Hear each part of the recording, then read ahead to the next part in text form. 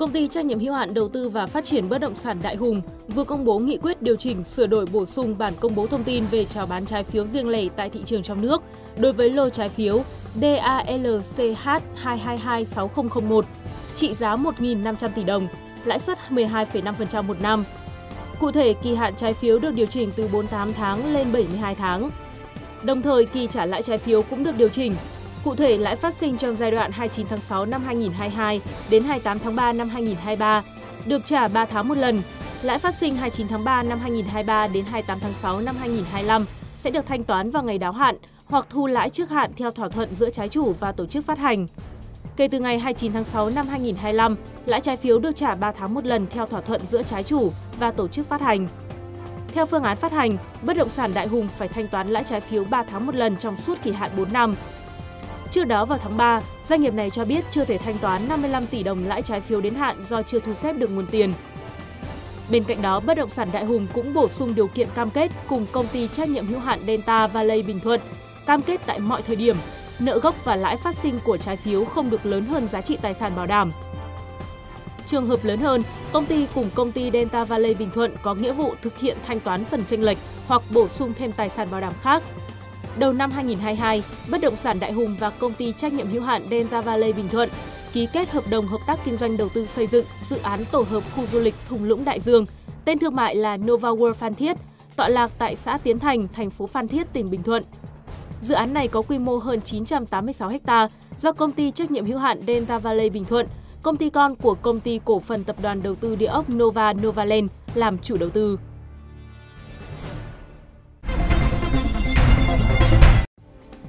Ngân hàng Thương mại Cổ phần Sài Gòn SCB vừa thông báo chấm dứt hoạt động 6 phòng giao dịch tại thành phố Hồ Chí Minh, gồm Phòng giao dịch Bảy Hiền chi nhánh Thống Nhất chấm dứt từ ngày 2 tháng 12.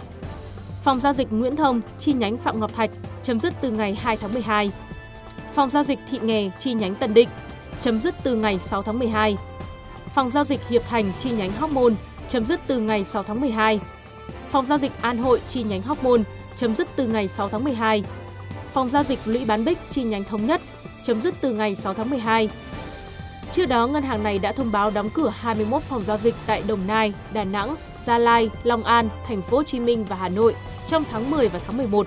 Thống kê từ website của SCB, từ đầu tháng 6 đến nay, ngân hàng này đã thông báo đóng cửa tổng cộng 39 phòng giao dịch tại 9 tỉnh thành phố là Thành phố Hồ Chí Minh 27 phòng giao dịch, Hà Nội 5 phòng giao dịch, Hải Phòng 1 phòng giao dịch, Nghệ An 1 phòng giao dịch, Bình Định một phòng giao dịch, Đồng Nai một phòng giao dịch, Đà Nẵng một phòng giao dịch, Gia Lai một phòng giao dịch và Long An một phòng giao dịch. Cách đây hơn một năm, ngày 15 tháng 10 năm 2022, Ngân hàng Nhà nước Việt Nam đã công bố quyết định kiểm soát đặc biệt Ngân hàng Thương mại Cổ phần Sài Gòn SCB để ổn định hoạt động của ngân hàng này.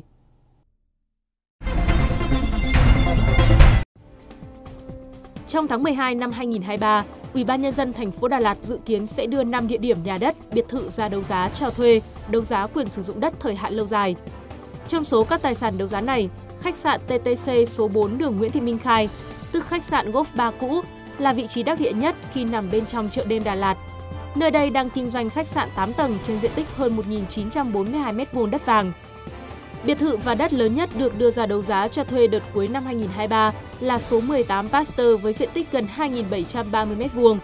Khu đất này chỉ cách trung tâm hành chính tỉnh Lâm Đồng vài trăm mét, cách các địa điểm nổi tiếng của thành phố Đà Lạt như quảng trường Lâm Viên, Hồ Xuân Hương, chợ đêm chỉ trong tầm 2 km. Bên cạnh đó là các bất động sản, số 1 Triệu Việt Vương, rộng 1.924 m2, nhà đất số 14 Phan Đình Phùng, diện tích gần 282 m2, và nhà đất số 72 đường 3 tháng 2 với diện tích hơn 97 m2. Tuy diện tích nhỏ nhưng tài sản này nằm trên con đường có nhiều khách sạn của Đà Lạt, cách chợ đêm Đà Lạt chưa tới 1 km.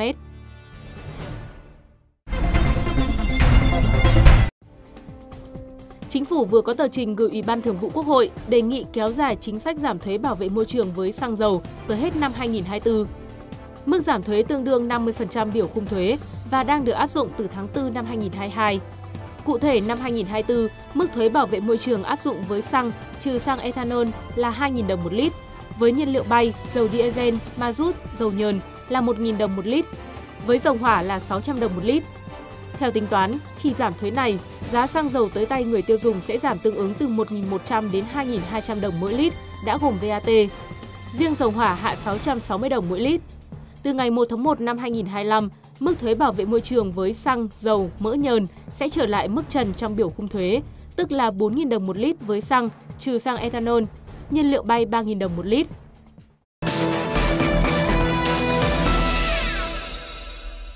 Thưa quý vị, lãi suất huy động vẫn tiếp tục giảm nhanh và mạnh khiến nhiều người gửi tiền bị sốc. Gửi tiền kỳ hạn 1 đến 2 tháng tại Vietcombank hiện chỉ nhận lãi suất 2,4% một năm, kỳ hạn 12 tháng về mức thấp nhất lịch sử là 4,8% một năm. Nhiều ngân hàng tư nhân niêm yết thấp hơn cả nhóm Big Four. Trong hơn một tháng qua, Vietcombank đã 3 lần giảm lãi suất huy động và đang có mức lãi suất tiền gửi thấp nhất thị trường. Mới đây nhất, ngày 30 tháng 11, Vietcombank áp dụng biểu lãi suất huy động mới, giảm 0,2% một năm ở các kỳ hạn so với trước đó. Theo đó, lãi suất huy động trực tuyến kỳ hạn 1-2 tháng chỉ còn 2,4% một năm, kỳ hạn từ 3 đến 5 tháng chỉ còn 2,7% một năm, kỳ hạn 6 đến 11 tháng chỉ còn 3,7% một năm và lãi suất huy động kỳ hạn 12 đến 24 tháng chỉ còn 4,8% một năm. Với lãi suất này, Vietcombank là ngân hàng có mức lãi suất thấp nhất thị trường hiện nay.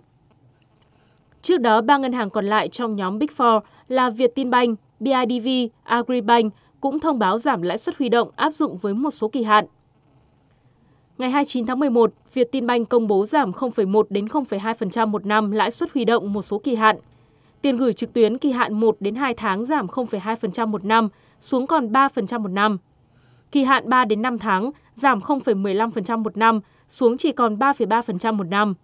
Các kỳ hạn từ 6 đến 9 tháng giảm 0,1% xuống còn 4,3% một năm. BIDV cũng giảm 0,1% một năm lãi suất huy động trực tuyến kỳ hạn từ 6 đến 11 tháng, còn 4,5% một năm. Giảm 0,2% một năm tiền gửi trực tuyến các kỳ hạn từ 12 đến 36 tháng, xuống còn 5,3% một năm. Tại Agribank, lãi suất huy động trực tuyến kỳ hạn 1 đến 12 tháng giảm 0,2% một năm xuống còn 3,2% một năm. Lãi suất kỳ hạn 3 đến 5 tháng giảm 0,25% một năm xuống còn 3,6% một năm. Tại khối ngân hàng thương mại cổ phần tư nhân, lãi suất cũng được điều chỉnh giảm thêm từ 0,2 đến 0,4% một năm. Đơn cử MB Bank vừa thông báo giảm 0,2% một năm lãi suất huy động, kỳ hạn 1 đến 5 tháng. Techcombank vừa thông báo giảm lãi suất huy động ở các kỳ hạn từ 6 đến 36 tháng với mức giảm 0,1% một năm. Theo đó, khách hàng thông thường nếu gửi kỳ hạn 1 tháng lãi suất chỉ còn 3,25% một năm, kỳ hạn 6 tháng lãi suất còn 4,65% một năm, kỳ hạn từ 12 đến 36 tháng giảm 0,2% một năm xuống còn 4,85% một năm. Hàng loạt ngân hàng khác cũng đang áp dụng lãi suất tiền gửi thấp chưa từng có. Tại các ngân hàng thương mại cổ phần lớn như VPBank, Sacombank, lãi suất huy động cao nhất cũng chỉ còn 5,4 đến 5,9% một năm. Trong đó ACB hiện chỉ niêm yết lãi suất tiền gửi cao nhất là 4,9%, thấp hơn cả nhóm Big Four. So với đầu năm 2023, mặt bằng lãi suất huy động hiện đã giảm một nửa. Thời điểm này cũng là lúc nhiều khoản tiền gửi của người dân đáo hạn. Với lãi suất huy động thấp như hiện nay, nhiều người hoang mang không biết nên gửi tiền tiếp tục hay đầu tư vào kênh khác.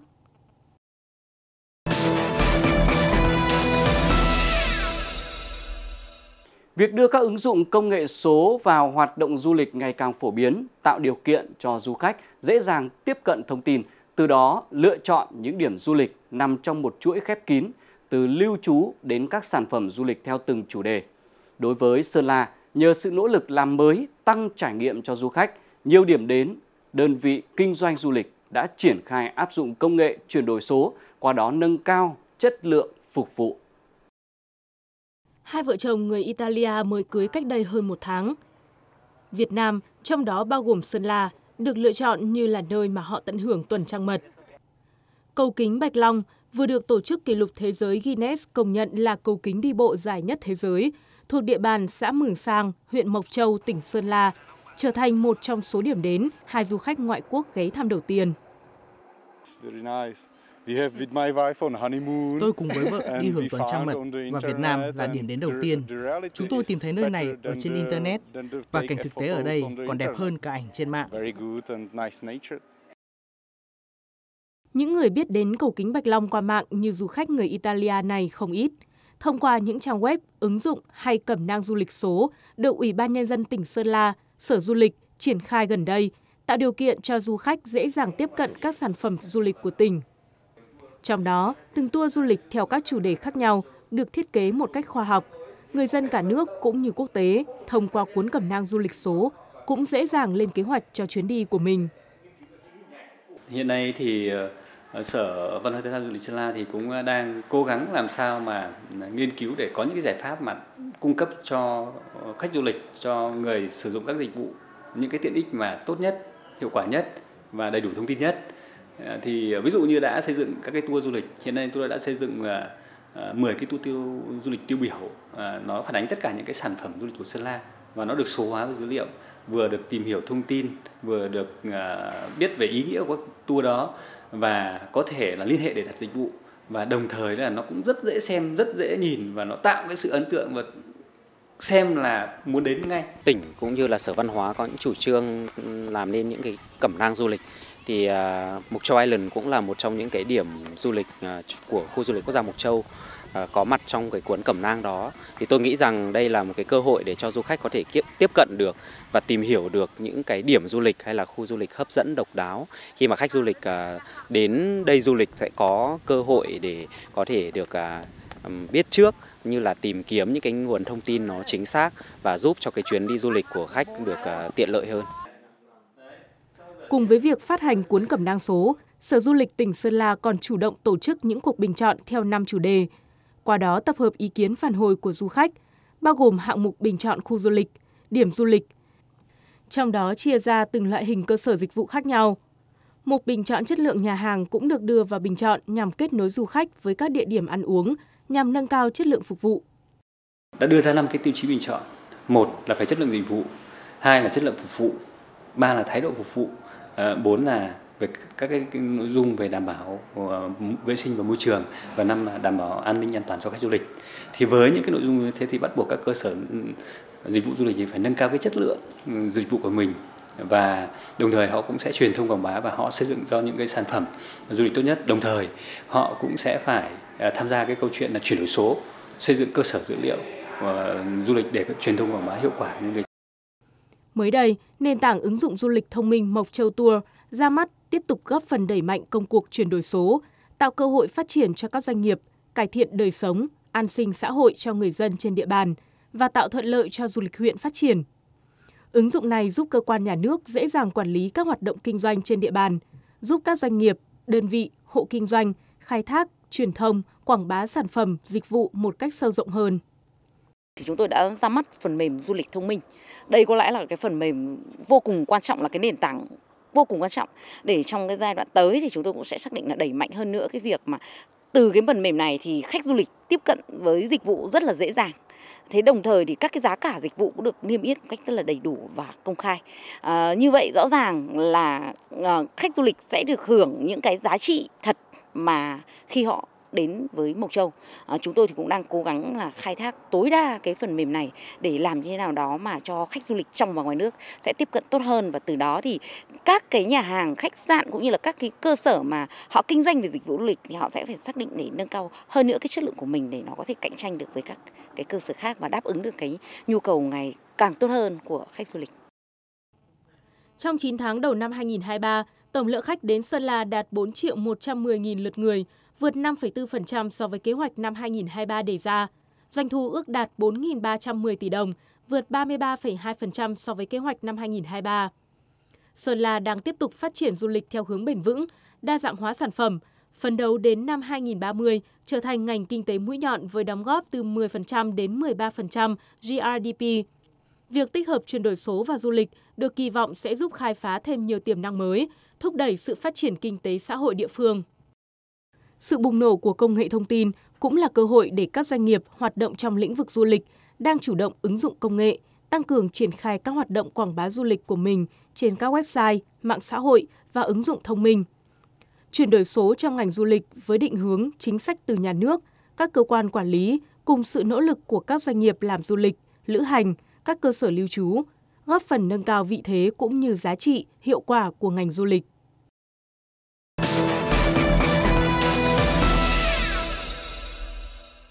Cận kề ngày lễ Giáng sinh, các trung tâm thương mại lớn tại Hà Nội bắt đầu được trang hoàng, rực rỡ, bắt mắt. Không khí lễ hội tràn ngập thu hút khách hàng tới check-in, vui chơi chiêm ngưỡng. Đây cũng là thời điểm thích hợp để thúc đẩy mua sắm, tiêu dùng khi năm 2023 đang dần khép lại. Người dân chuẩn bị đón năm mới 2024. Không khí Giáng sinh đang bao trùm các trung tâm thương mại tại Hà Nội. Từ cuối tháng 11 đầu tháng 12, các địa điểm vui chơi mua sắm này đã được khoác áo mới đón Giáng sinh. Từ những cây thông Noel lộng lẫy đến cách trang trí lung linh, rực rỡ. Các trung tâm thương mại hứa hẹn sẽ đem đến một mùa lễ hội rộn ràng, hấp dẫn người dân. Mặt hàng nổi bật nhất trong dịp Giáng sinh vẫn là đồ trang trí. Bên cạnh đó, các mặt hàng tiêu dùng như thời trang, đồ gia dụng, đồ chơi được đầu tư thu hút khách hàng trong dịp lễ hội cuối năm. Mặc dù kinh tế năm nay có phần khó khăn hơn so với nhiều năm trước, nhưng nhiều người vẫn cố gắng duy trì các hoạt động trang trí và vui chơi để mang lại niềm vui trong gia đình, nhất là cho các em nhỏ. Thì Giáng sinh không phải là cái gì mà chị cũng hay chi lắm, chủ yếu là người Việt Nam không có truyền thống là Giáng sinh mà các bạn ấy cũng thích mua quà để các bạn ấy được được, được, được, được, được tặng quà trong Giáng sinh ấy thì thường chị cũng mua khoảng dưới một triệu thôi. Nhìn chung, nhu cầu mua sắm của người dân vào dịp Giáng sinh năm nay không có nhiều thay đổi so với mọi năm, chủ yếu là các mặt hàng trang trí, quà tặng. Giá cả của các mặt hàng trang trí cũng không có nhiều biến động so với các mùa Giáng sinh gần đây. Những ngân hàng hàng đầu tại Trung Quốc bao gồm cả những đơn vị quốc doanh và Big Four của nước này đã phải nhận loạt án phạt từ Cục Quản lý và Giám sát Tài chính Nhà nước với tổng số tiền phạt lên tới hơn 300.000 nhân dân tệ, tương đương 42.000 đô la Mỹ. Trang Sina đưa tin, ngày 1 tháng 12, Cục Quản lý và Giám sát Tài chính Nhà nước đã công bố 22 khoản tiền phạt theo quy định liên quan đến Ngân hàng Xây dựng, Ngân hàng Trung Quốc, Ngân hàng Nông nghiệp Trung Quốc, Ngân hàng CITIC Trung Quốc, Ngân hàng Minsheng, Ngân hàng Bột Hải. Trong số đó, các ngân hàng đầu tàu như Ngân hàng Xây dựng Trung Quốc, Ngân hàng Trung Quốc, Ngân hàng Nông nghiệp Trung Quốc và Ngân hàng CITIC bị phạt tổng cộng 327 triệu nhân dân tệ. Ngân hàng CITIC nhận mức phạt lớn nhất là 225 triệu nhân dân tệ liên quan đến 56 hành vi vi phạm pháp luật. Cụ thể, Ngân hàng Xây dựng Trung Quốc, một trong số Big Four ngân hàng của Bắc Kinh, bị tịch thu tài sản bất hợp pháp và phạt tổng cộng 37,92 triệu nhân dân tệ. Trong đó, số tiền phạt của trụ sở chính là 20,42 triệu nhân dân tệ và các chi nhánh là 17,5 triệu nhân dân tệ. Khoản tiền phạt liên quan đến 18 hành vi vi phạm pháp luật và quy định, trong đó có khoản vi phạm là một cơ quan hợp tác với hơn 3 công ty bảo hiểm trong lĩnh vực kinh doanh bảo hiểm trong cùng một năm tài chính. Và hầu hết sai phạm đều liên quan đến các vấn đề như bán hàng đại lý không thường xuyên. Ngân hàng Nông nghiệp Trung Quốc cũng thuộc Big Four, bị tịch thu số tiền bất hợp pháp và bị phạt tổng cộng 27,1 triệu nhân dân tệ. Trong đó 5,7 triệu nhân dân tệ đến từ trụ sở chính và 21,4 triệu nhân dân tệ đến từ các chi nhánh. Nguyên nhân bao gồm 13 hành vi vi phạm pháp luật như cho vay vốn lưu động để đầu tư tài sản cố định, các vấn đề tập trung chủ yếu ở lĩnh vực tín dụng. Cùng ngày 1 tháng 12, Ngân hàng Trung Quốc, một trong năm ngân hàng thương mại nhà nước lớn nhất và là ngân hàng lâu đời nhất ở Trung Quốc vẫn còn tồn tại, bị Ngân hàng Trung ương BOBC cảnh cáo và bị tịch thu thu nhập bất hợp pháp 373.400 nhân dân tệ và phạt 36,642 triệu nhân dân tệ. Khoản phạt này liên quan đến 12 vấn đề, bao gồm quản lý tài khoản, quản lý thanh lý, quản lý người bán, quản lý dự trữ và chống tiền giả. Trong số những ngân hàng bị phạt, năm nay, ngân hàng CITIC nhận mức phạt lớn nhất, với trụ sở chính bị phạt 152,4 triệu nhân dân tệ và thu nhập bất hợp pháp là 4,6 triệu nhân dân tệ bị tịch thu. Các chi nhánh liên quan bị phạt 67,7 triệu nhân dân tệ. Tổng số tiền phạt là khoảng 225 triệu nhân dân tệ, liên quan đến 56 người, bao gồm nhiều vấn đề về kinh doanh và quản lý như quyền truy cập điều hành, quản lý khoản vay liên quan, đánh giá hiệu suất, công bố các giao dịch liên quan, quản lý tín dụng thống nhất, phòng ngừa và kiểm soát sai phạm. Hầu hết các khoản phạt ngân hàng nêu trên đều được ban hành vào cuối tháng 11 nhưng mới được công khai gần đây. Theo Sina, hầu hết các vấn đề liên quan đều xảy ra trước năm 2019 và đã được khắc phục.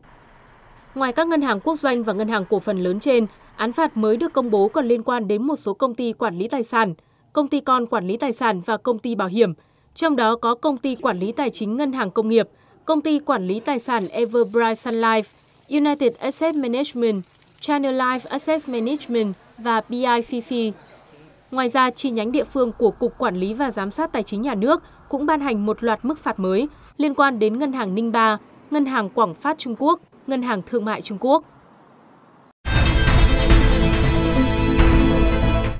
Giá vàng đang trên đà đạt mức cao mới vào năm 2024 và dự kiến duy trì trên mức 2.000 đô la Mỹ một ounce do bất ổn địa chính trị, đồng đô la Mỹ có thể suy yếu và khả năng lãi suất giảm. Giá kim loại quý đã tăng trong hai tháng liên tiếp khi xung đột Israel-Hamas thúc đẩy nhu cầu đối với loại tài sản trú ẩn an toàn này, cùng với kỳ vọng về việc Cục Dự trữ Liên bang Mỹ Fed sẽ hạ lãi suất. Vàng có xu hướng tăng giá trong thời kỳ bất ổn kinh tế và địa chính trị do vị thế của vàng là nơi lưu trữ giá trị đáng tin cậy.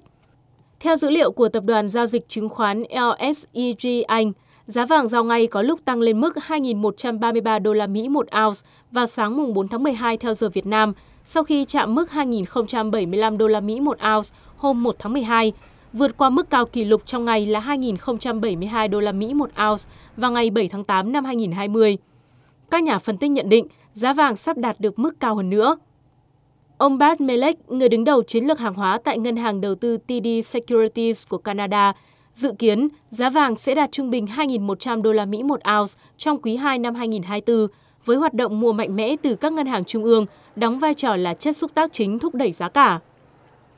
Một cuộc khảo sát gần đây của Hội đồng vàng thế giới, 24% các ngân hàng trung ương có ý định tăng dự trữ vàng trong 12 tháng tới, do họ ngày càng bi quan về giá đồng đô la Mỹ trong vai trò tài sản dự trữ. Theo đài CNBC, ông Melek cho biết động thái này có nghĩa là nhu cầu có thể cao hơn trong những năm tới. Theo ông Melek, khả năng xoay trục chính sách của Fed vào năm 2024 cũng có thể được tính đến. Lãi suất thấp hơn có xu hướng làm suy yếu đồng đô la Mỹ và đồng đô la Mỹ giảm lại khiến vàng trở nên rẻ hơn đối với những người mua quốc tế, do đó cũng thúc đẩy nhu cầu về vàng. Fed bắt đầu đợt tăng lãi suất từ tháng 3 năm 2022 khi lạm phát tăng lên mức cao nhất trong 40 năm. Lãi suất cao hơn làm ảnh hưởng đến nhu cầu về vàng vì các tài sản như trái phiếu trở nên hấp dẫn hơn do lãi suất cao hơn. Hôm 29 tháng 11, Thống đốc của Fed Christopher Waller dự báo chính sách tiền tệ sẽ nới lỏng nếu dữ liệu lạm phát tiếp tục giảm trong vòng từ 3 đến 5 tháng tới, khiến các nhà phân tích dự báo giá vàng sẽ còn tăng vọt.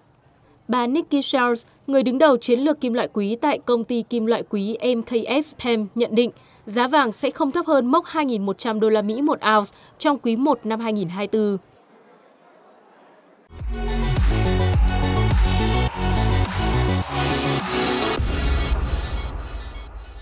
Vào khoảng 5 giờ 45 phút sáng ngày 4 tháng 12 giờ Hà Nội, đồng tiền điện tử lớn nhất thế giới Bitcoin đã chạm ngưỡng 40.000 đô la. Đây là lần đầu tiên trong năm 2023, hay chính xác hơn là lần đầu tiên kể từ tháng 5 năm 2022, tức là 18 tháng cho tới nay, Bitcoin đạt được mốc giá này. Theo dữ liệu trên Coindex, giá Bitcoin chạm ngưỡng 40.000 đô la Mỹ vào lúc 5 giờ 45 phút và tiếp tục tăng lên mức cao nhất là 40.100 đô la Mỹ vào lúc 6 giờ sáng ngày 4 tháng 12 theo giờ Hà Nội. Sau đó, đồng tiền số lớn nhất thế giới đã quay trở lại giao dịch quanh mức 39.800 đến 40.000 đô la Mỹ. Lần cuối cùng giá Bitcoin đạt mốc 40.000 đô la Mỹ là trước khi stablecoin Terra USD sụp đổ, dẫn đến sự biến động của tài sản kỹ thuật số và một chuỗi sụp đổ trong ngành công nghiệp tiền điện tử. Tính từ thời điểm Bitcoin chạm mức thấp nhất trong năm là 26.533 đô la Mỹ, ghi nhận ngày 11 tháng 10. Đồng tiền này đã phục hồi hơn 50% cho tới nay. Trong năm nay, đồng tiền số này cũng tăng tới 147%, mặc dù vẫn chưa thể quay trở lại thời kỳ đỉnh cao là 69.000 đô la Mỹ được thiết lập vào tháng 11 năm 2021. Tương tự Bitcoin, đồng tiền số lớn thứ hai thế giới là Ethereum cũng tăng khoảng 2% để đạt mốc trên 2.200 đô la Mỹ vào khoảng 5 giờ sáng ngày 4 tháng 12. Sau đó giao dịch quanh mốc 2.100 đến 2.200 đô la Mỹ. Mốc 2.200 đô la Mỹ của Ethereum cũng là một cột mốc cao hiếm hoi của đồng tiền này trong năm nay. Hầu hết 10 loại tiền điện tử hàng đầu khác theo vốn hóa thị trường đều ghi nhận mức tăng nhỏ, Mặc dù BNB, một token liên kết với sàn giao dịch Binance, đã giảm khoảng 0,1% trong vòng 24 giờ qua. Thị trường tiền điện tử đã ghi nhận nhiều khởi sắc trong vòng vài tháng qua khi có nhiều dấu hiệu tích cực từ Ngân hàng Trung ương Mỹ Fed và kỳ vọng rằng một quỹ giao dịch trao đổi Bitcoin giao ngay ETF cũng có thể được chấp thuận ra mắt ngay trong năm nay.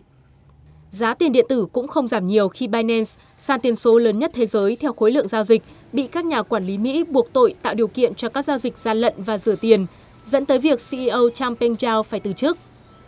Thậm chí giá Bitcoin và phần đông tiền điện tử còn tăng giá sau biến cố của Binance, thay vì quay đầu giảm sâu như thời điểm các sàn tiền điện tử lớn khác như FTX sụp đổ.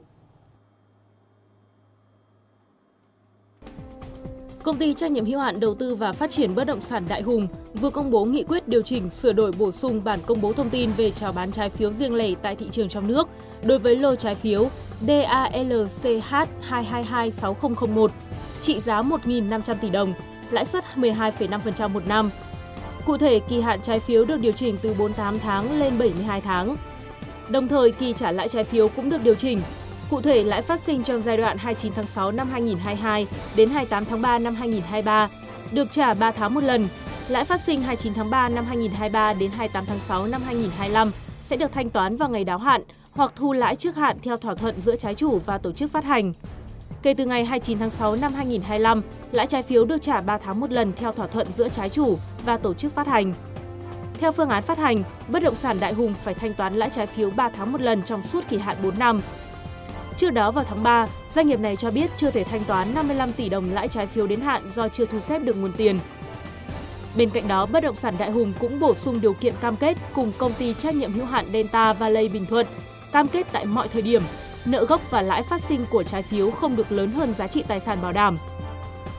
Trường hợp lớn hơn, công ty cùng công ty Delta Valley Bình Thuận có nghĩa vụ thực hiện thanh toán phần chênh lệch hoặc bổ sung thêm tài sản bảo đảm khác Đầu năm 2022, bất động sản Đại Hùng và công ty trách nhiệm hữu hạn Delta Valley Bình Thuận ký kết hợp đồng hợp tác kinh doanh đầu tư xây dựng dự án tổ hợp khu du lịch Thung Lũng Đại Dương, tên thương mại là Nova World Phan Thiết, tọa lạc tại xã Tiến Thành, thành phố Phan Thiết, tỉnh Bình Thuận. Dự án này có quy mô hơn 986 ha do công ty trách nhiệm hữu hạn Delta Valley Bình Thuận, công ty con của công ty cổ phần tập đoàn đầu tư địa ốc Nova Novaland làm chủ đầu tư.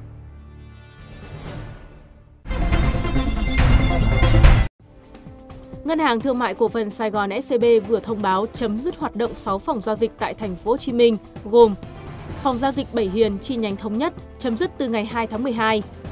Phòng giao dịch Nguyễn Thông chi nhánh Phạm Ngọc Thạch chấm dứt từ ngày 2 tháng 12. Phòng giao dịch Thị Nghè chi nhánh Tân Định chấm dứt từ ngày 6 tháng 12. Phòng giao dịch Hiệp Thành chi nhánh Hóc Môn chấm dứt từ ngày 6 tháng 12. Phòng giao dịch An Hội chi nhánh Hóc Môn chấm dứt từ ngày 6 tháng 12 phòng giao dịch Lũy Bán Bích chi nhánh Thống Nhất chấm dứt từ ngày 6 tháng 12. Trước đó, ngân hàng này đã thông báo đóng cửa 21 phòng giao dịch tại Đồng Nai, Đà Nẵng, Gia Lai, Long An, Thành phố Hồ Chí Minh và Hà Nội trong tháng 10 và tháng 11. Thống kê từ website của SCB, từ đầu tháng 6 đến nay, ngân hàng này đã thông báo đóng cửa tổng cộng 39 phòng giao dịch tại 9 tỉnh thành phố là Thành phố Hồ Chí Minh 27 phòng giao dịch, Hà Nội 5 phòng giao dịch, Hải Phòng 1 phòng giao dịch, Nghệ An 1 phòng giao dịch, Bình Định một phòng giao dịch, Đồng Nai một phòng giao dịch, Đà Nẵng một phòng giao dịch, Gia Lai một phòng giao dịch và Long An một phòng giao dịch. Cách đây hơn một năm, ngày 15 tháng 10 năm 2022, Ngân hàng Nhà nước Việt Nam đã công bố quyết định kiểm soát đặc biệt Ngân hàng Thương mại Cổ phần Sài Gòn SCB để ổn định hoạt động của ngân hàng này.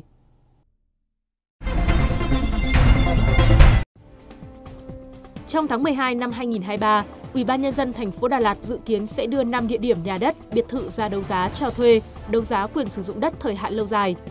Trong số các tài sản đấu giá này, khách sạn TTC số 4 đường Nguyễn Thị Minh Khai, tức khách sạn Golf 3 cũ, là vị trí đắc địa nhất khi nằm bên trong chợ đêm Đà Lạt. Nơi đây đang kinh doanh khách sạn 8 tầng trên diện tích hơn 1.942 m2 đất vàng, Biệt thự và đất lớn nhất được đưa ra đấu giá cho thuê đợt cuối năm 2023 là số 18 Pasteur với diện tích gần 2.730 m2. Khu đất này chỉ cách trung tâm hành chính tỉnh Lâm Đồng vài trăm mét, cách các địa điểm nổi tiếng của thành phố Đà Lạt như quảng trường Lâm Viên, Hồ Xuân Hương, chợ đêm chỉ trong tầm 2 km. Bên cạnh đó là các bất động sản, số 1 Triệu Việt Vương, rộng 1.924 m2, nhà đất số 14 Phan Đình Phùng, diện tích gần 282 m2, và nhà đất số 72 đường 3 tháng 2 với diện tích hơn 97 m2. Tuy diện tích nhỏ nhưng tài sản này nằm trên con đường có nhiều khách sạn của Đà Lạt, cách chợ đêm Đà Lạt chưa tới 1 km.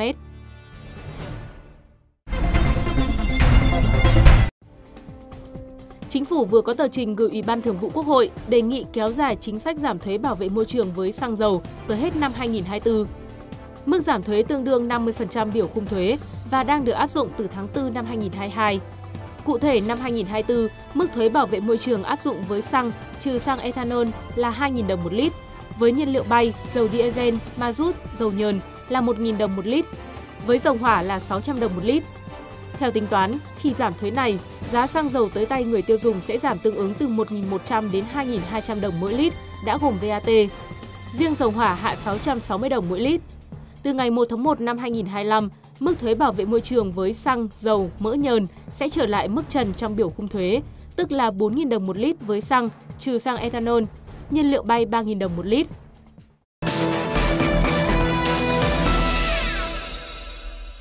Thưa quý vị, lãi suất huy động vẫn tiếp tục giảm nhanh và mạnh khiến nhiều người gửi tiền bị sốc. Gửi tiền kỳ hạn 1 đến 2 tháng tại Vietcombank hiện chỉ nhận lãi suất 2,4% một năm, kỳ hạn 12 tháng về mức thấp nhất lịch sử là 4,8% một năm. Nhiều ngân hàng tư nhân niêm yết thấp hơn cả nhóm Big Four. Trong hơn một tháng qua, Vietcombank đã 3 lần giảm lãi suất huy động và đang có mức lãi suất tiền gửi thấp nhất thị trường. Mới đây nhất, ngày 30 tháng 11, Vietcombank áp dụng biểu lãi suất huy động mới, giảm 0,2% một năm ở các kỳ hạn so với trước đó.